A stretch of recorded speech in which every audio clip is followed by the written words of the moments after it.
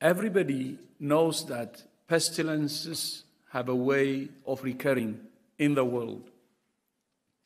There have been as many plagues as wars in history.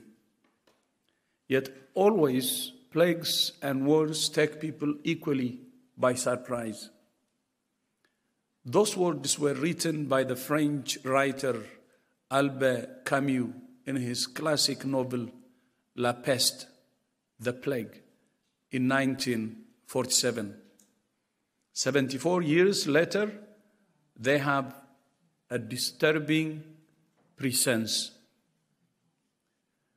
Outbreaks, epidemics, and pandemics are a fact of nature and a recurring feature of recorded history.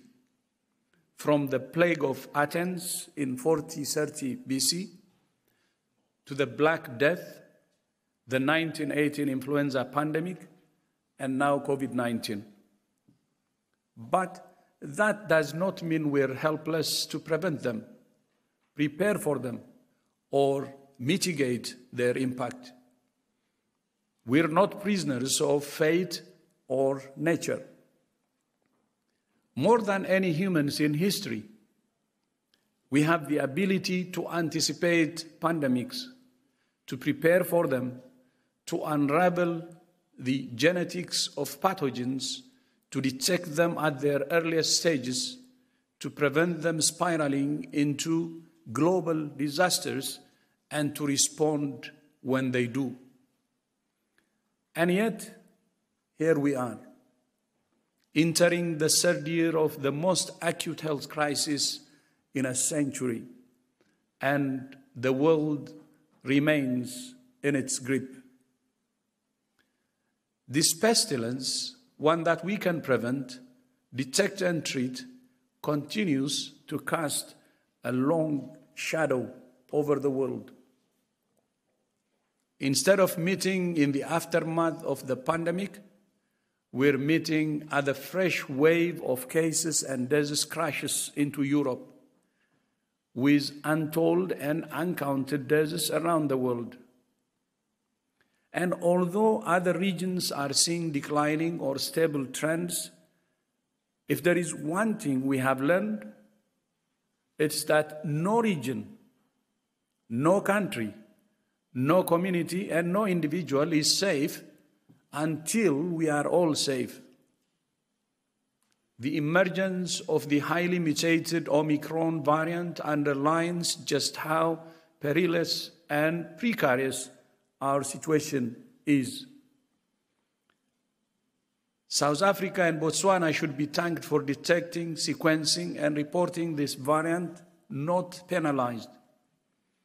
Indeed, Omicron demonstrates just why the world needs a new accord on pandemics.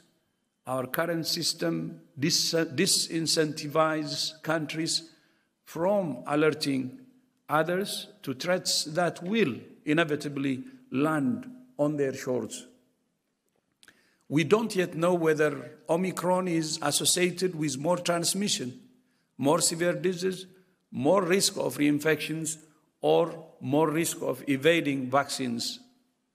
Scientists at WHO and around the world are working urgently to answer these questions. We shouldn't need another wake up call. We should all be wide awake to the threat of this virus. But Omicron's very emergence is another reminder that although many of us might think we're done with COVID 19, it's not done with us. We're living through a cycle of panic and neglect. Hard won gains could vanish in an instant. Our most immediate task, therefore, is to end this pandemic.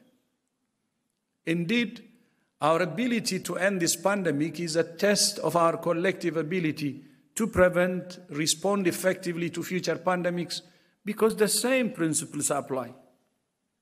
The same principles courageous and compassionate leadership, fidelity to science, generosity in sharing the fruits of research, and an unshakable commitment to equity and solidarity.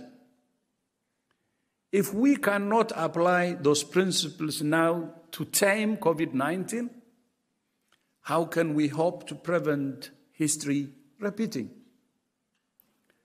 And we cannot end this pandemic unless we solve the vaccine crisis. In less than a year, almost 8 billion vaccines have been administered around the world, the largest vaccination campaign in history. More than a year ago, before the, the first vaccines were approved, WHO and our partners established the ACT Accelerator, COVAX, and C-TAP to facilitate equitable access to vaccines, tests, treatments, and PPE. And we have shown that these mechanisms work. COVAX has now shipped more than 550 million vaccine doses, including almost 250 million doses in the last two months, more than it shipped in the first seven months of this year. Last week, C-TAP and the Medicines Patent Pool finalized its first licensing agreement with the Spanish National Research Council, a transparent, global, and non exclusive license for a serological antibody test.